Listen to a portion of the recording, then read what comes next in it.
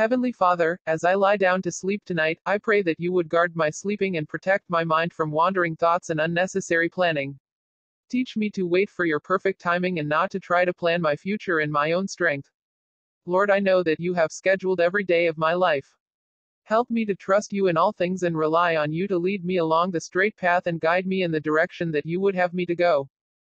Give me patience to wait for your perfect timing and may I not trust in my own abilities and scheming, but rather rest in your love and trust my future into your hands.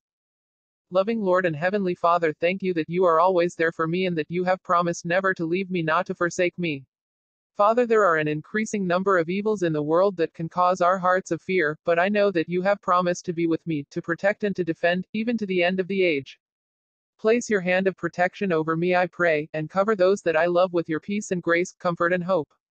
Help me to trust you in all things, and may I never forget that no matter what happens in this life, you have promised to be my protector and provider, my rock and my shield of defense. Lord, I pray that by your great grace and mercies you would grant us untroubled sleep so that we may rise up in the morning strong to do your bidding and rejoicing for the dawn of a new day, knowing that your mercies are new every morning. Great is your faithfulness. We praise your holy name, who died and rose again so that we might live. Amen.